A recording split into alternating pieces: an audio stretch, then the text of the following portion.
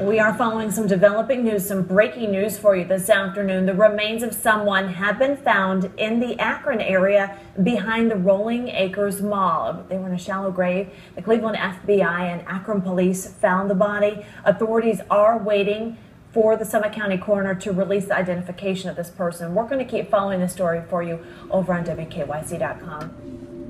Go ahead.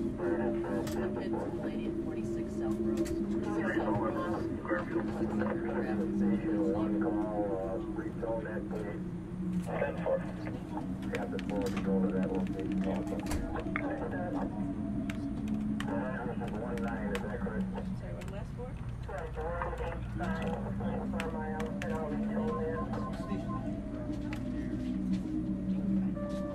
lights went out in parts of Summit County this afternoon, but it was not your typical power problem. A man was electrocuted, apparently trying to steal copper cable from the Rolling Acres Mall. Firefighters found the body next to an electrical cabinet that is clearly marked with hazard signs.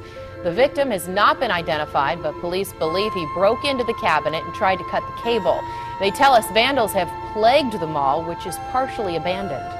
We've had um, scrappers breaking in, doing the same thing throughout the mall, and it's been an ongoing problem. Several dozen homes lost power this afternoon. Police are warning scrappers that attempts to steal copper can be deadly.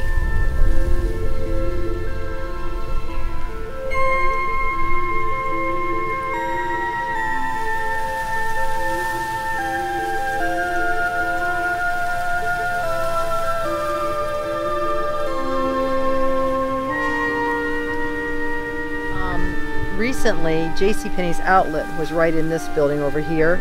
A year ago, there was still a JCPenney outlet in there. That was the last store to remain. And then Macy's on the other side, if you see over there, it's all boarded up. That left about three or four years ago, probably. Yeah. But at one time, it was just those two Yes. stores here with all this shut and boarded off inside. You couldn't, you know, get out of Penney's into the mall area. Okay, so they they shut the mall down before J.C. Penney and Macy's left. Correct. Yes. I see. And, and and Macy's, you couldn't get out of Macy's either. You would just go into Macy's and come back out. Like you couldn't come over here to to the to JCPenney's outlet. It was just shut. The main mall was shut.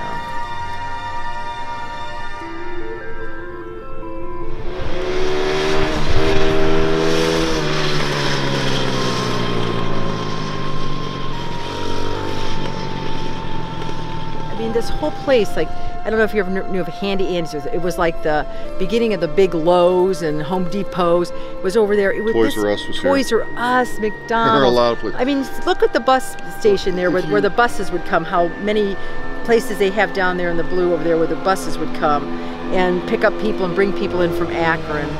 I mean, you know, this was booming. This was at one one point in time a booming place. The mall was kind of like the anchor for all the other stores and all the other um, things that went on around here. And as if you look around, you can see that most of the places are they're either abandoned or just a mere shell of what they were at one time. Hi, this is Dan Bell, and here we are at my most requested location for a video, Rolling Acres Mall, affectionately known as Rotting Acres, located out in Akron, Ohio. There's a lot of information about this mall online, so I won't go too much into the history of this mall and the, the financial downfall of this mall. You can find all of that just by Googling Rolling Acres Mall. So, this video, I'm just going to break in every once in a while and let you know what you're looking at and the feelings I had while I was there and everything else. So, when we go out into this corridor here in a minute, you're going to hear a lot of frogs singing. And if you're familiar with Rolling Acres Mall, where the glass elevator is, underneath of the elevator in the pit has filled up with water, so there's actually frogs living under the elevator. And here we go, listen to them sing.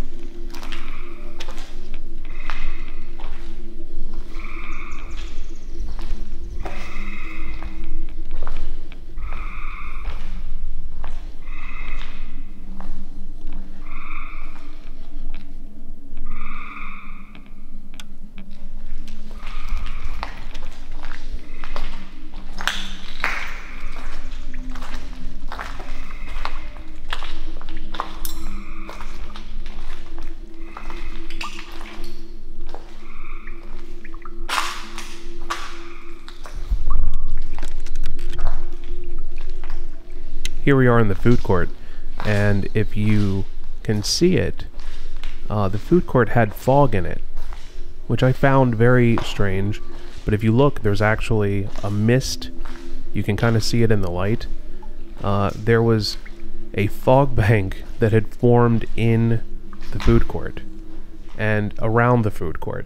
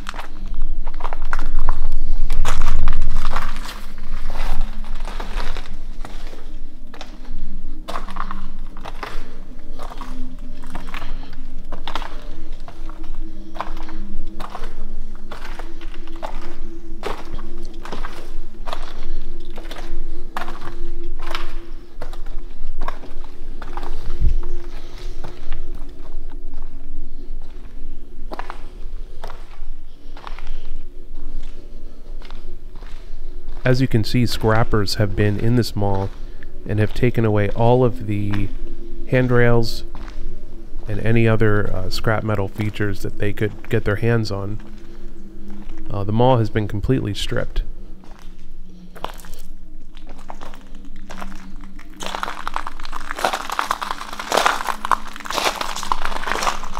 As you can also see, most of the windows in the mall have been broken uh, the place has been completely vandalized and it's just kind of rotting away.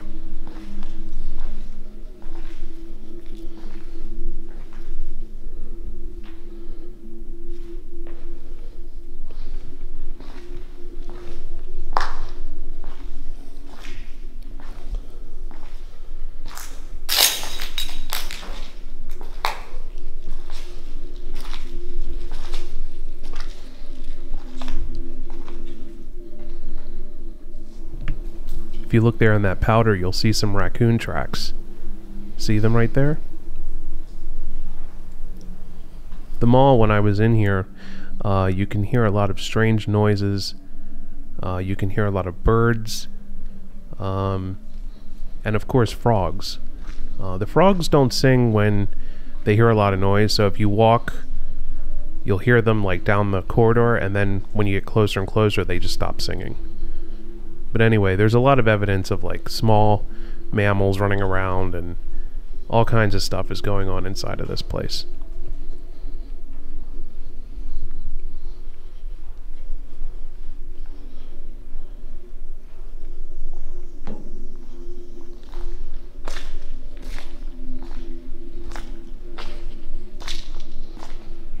One of my fears when I was walking along this floor, you know, the floor is very smooth um, and there's these puddles of water and mold and algae, and it becomes very, very slippery.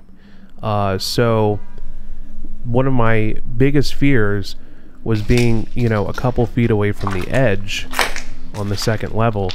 Uh, if I slipped, which I did a couple of times, uh, if I fell over that edge, I don't think you'd be watching this video right now.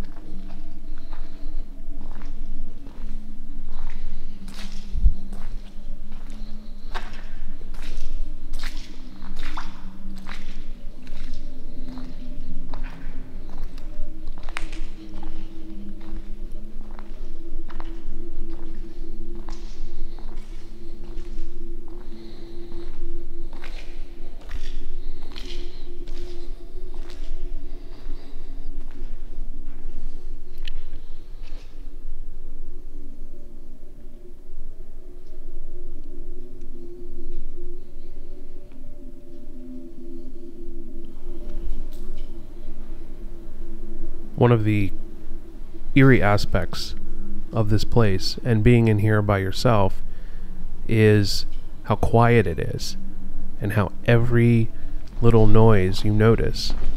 Um, unlike a mall that has people in it, uh, this mall is extremely quiet because there are no people in it. Uh, it gives it a very, very creepy feeling indeed.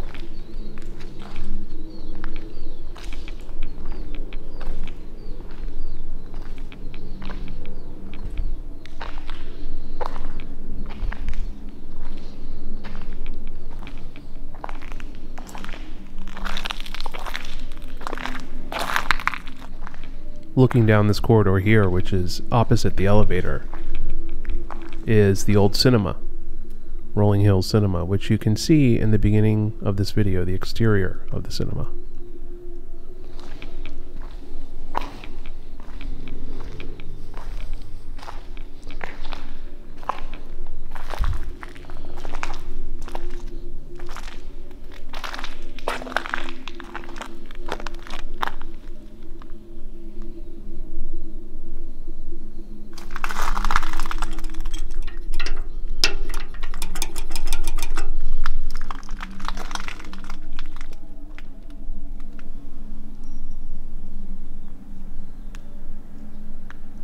Can't even explain just how treacherous it is inside of this building.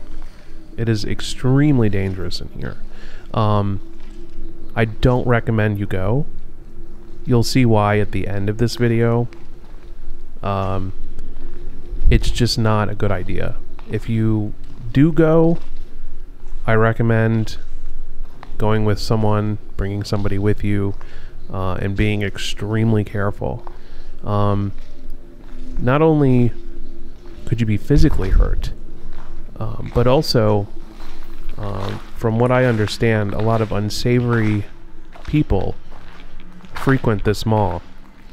Um, and if you go in here, you'll see some of the graffiti and some of the bullet holes.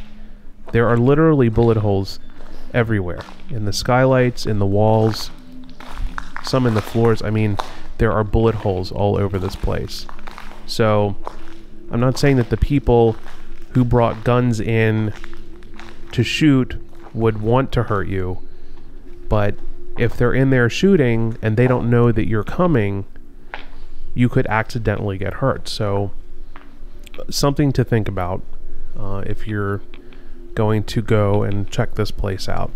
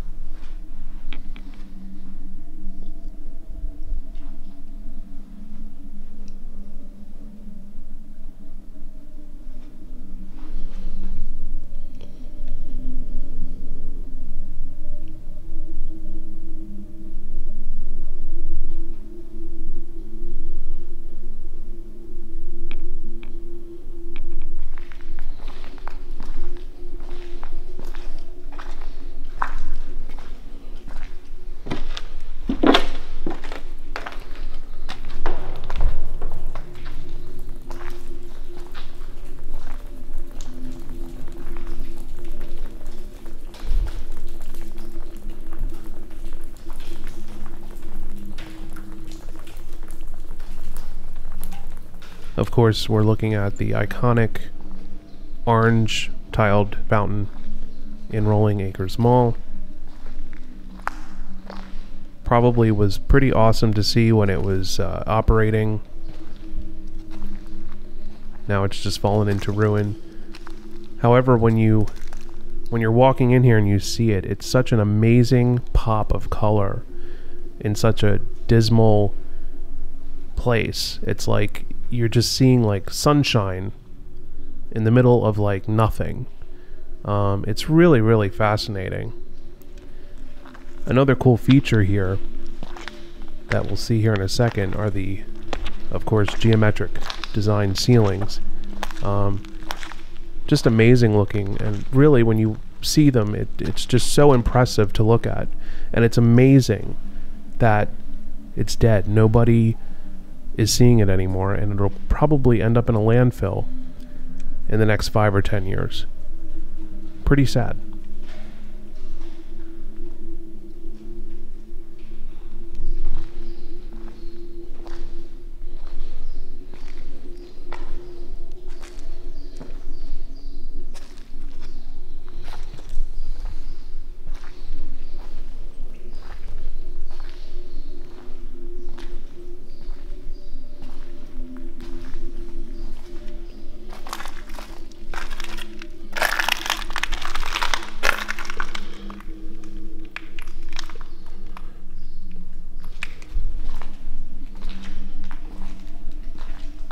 Most of the floor space in this mall is covered with glass, little pieces of glass. So when you're walking, it just sounds like you're walking on a gravel road or something.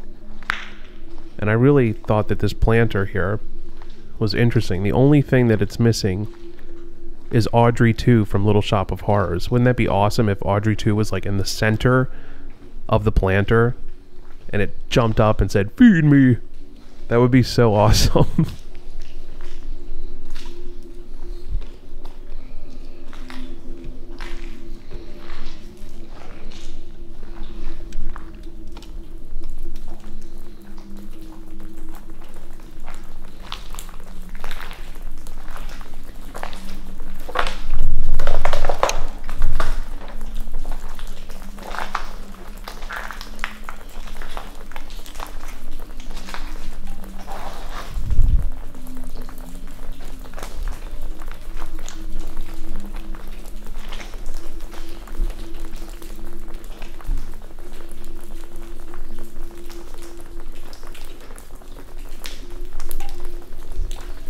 this old express store here.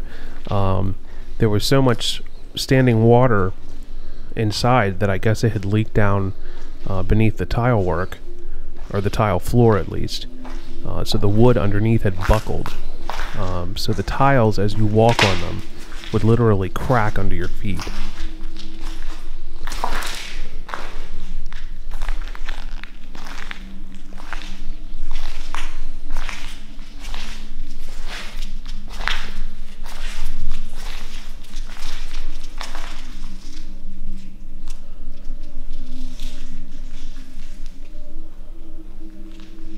And here you can see the bullet holes in the skylights.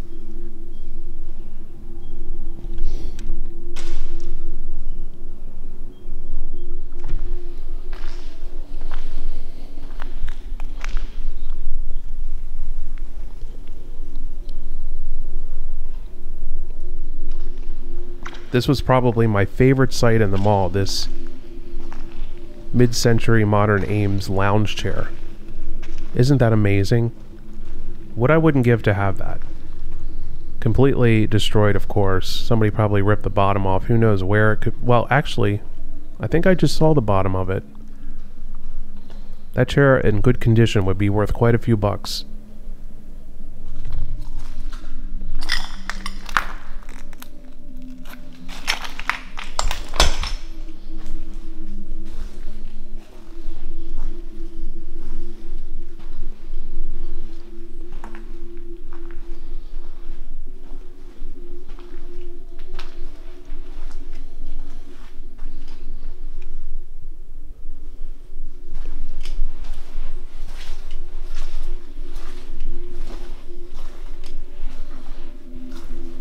I like uh, the zoom in here on the mall occupancy record, and it looks like it was from 2004, and it says two people were in the mall.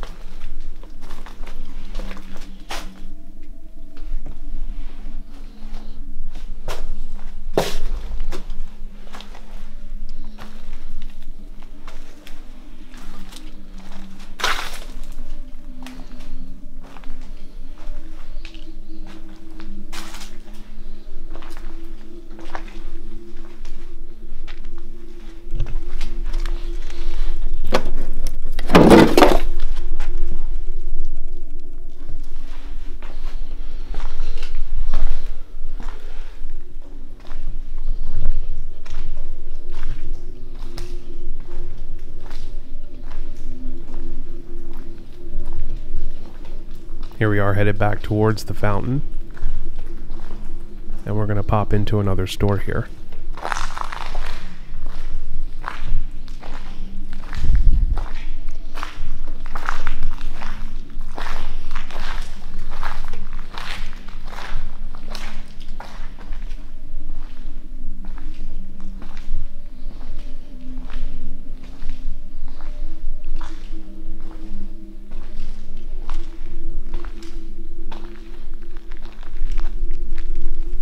Like this store had its last red letter day a long time ago.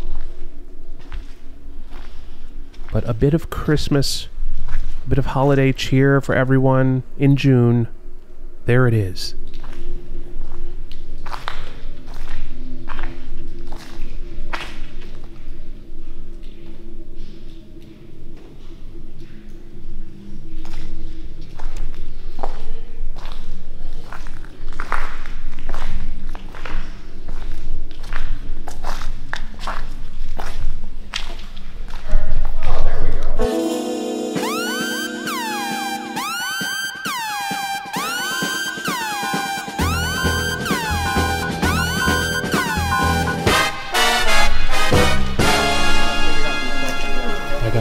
Police escort out of the mall. A lot of police.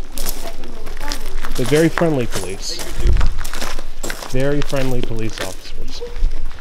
The Akron City Police, is that? Yes. Yeah, Akron City Police. Who are very kind to me. So if you think about coming to Rolling Hills, don't do it. Because they will be here. You can see how many police officers showed up. Huh? Uh, if you go to This is Dan Bell on YouTube. This is Dan Bell.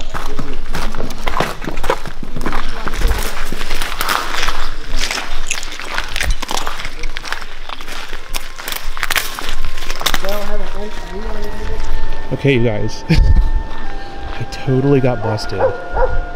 They brought dogs, and they had police officers, and I honestly thought that uh, I was going to be arrested, but they were actually quite nice.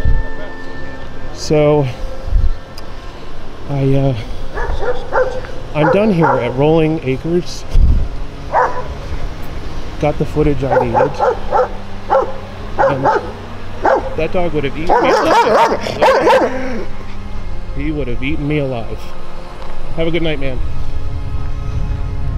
Oh, Look at all the they blocked my car in too. Look this. All right, guys.